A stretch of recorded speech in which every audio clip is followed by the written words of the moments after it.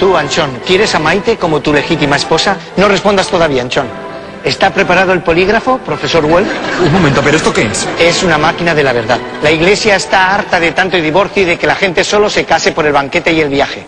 A partir de ahora, si no hay amor eterno y verdadero, no casamos. Ya te decía yo que era mejor ir por lo civil. Maite, mejor nos vamos. Ni hablar, Anchón. A ver cómo reunimos luego a toda mi familia de Villaviciosa de Don.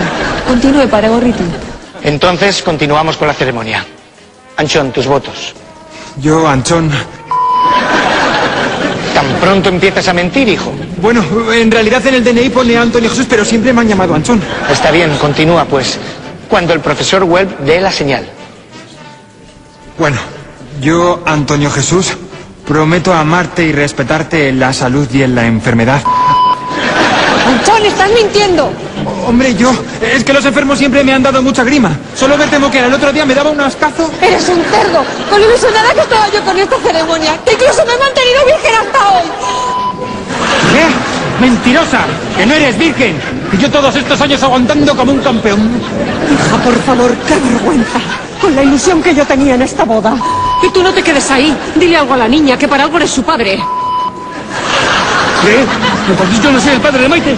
Hijos míos, hermanos, quiero que aquí reine la paz. Ese es el padre de Maite. Un momento, no puede estar así en la casa del Señor.